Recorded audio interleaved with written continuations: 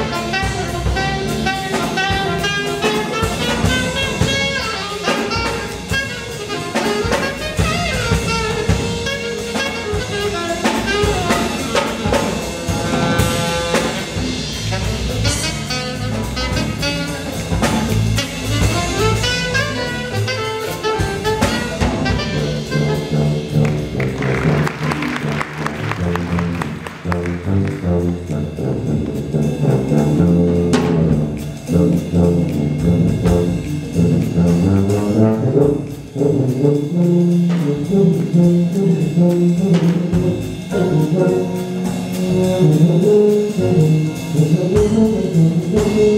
it's